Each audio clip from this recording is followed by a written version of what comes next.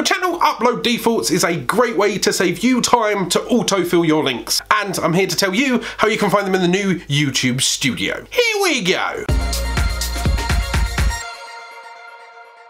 Hello and welcome back to another video. I'm Alan, your YouTube certified expert. And if you're looking to start a YouTube channel, grow your YouTube channel, or push your brand out there into the second largest search engine on the internet, you should click subscribe start creating. Now, one of the most time consuming things that any new or small YouTuber will find is that when they upload a video, they have to title it, they have to describe it, they have to put the tags in, and each time you have to remember what link did I put in, what playlist did I link to, what videos are connected. Now, there is a way to speed this up and to make sure that you've got all of the important links always in your videos, your descriptions and your tags so you never miss out. So you don't kick yourself later. It is known as the feature as the upload defaults and what it does is it auto-fills all of this information for you when uploading within the upload page, and all you have to do is tweak some of the tags and tweak the description when it relates to the video. Let's go to the computer. Okay, so first of all, when you load up the YouTube Studio, you'll land on this page. This is your dashboard.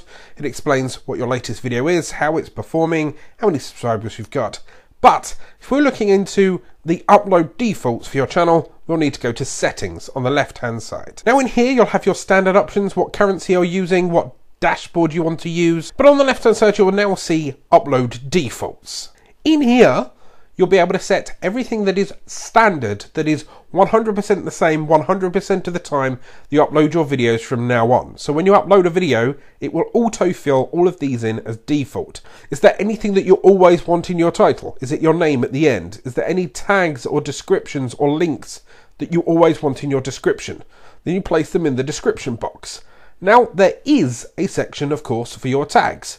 You click on the extras at the top, and these are your default tags. For me, there are two versions of my channel name, a short version of my channel, my little kind of catchphrase in two forms, but you might want to always put books, or you might always want to put your own name, and you separate them by commas and you fill them out that way. This is also a good way of categorizing your videos. Let's say you have three types of videos, books, videos, and crafting. Then you can have three types of tag there, and then you remove the ones that aren't relevant. And then under advanced, you are able to pick all the other features that people often overlook what type of YouTube license you have, the language of the video, what category your videos happen to be in, whether you accept community contributions such as your subtitles, whether or not it's aired on TV, should it be some kind of advert, and your comment control. So whether you allow all comments, whether you hold potentially dangerous ones, hold comments for review, or disable comments on all videos that are uploaded immediately, and you can also view ratings or turn off ratings. Those are your thumbs ups and your thumbs downs.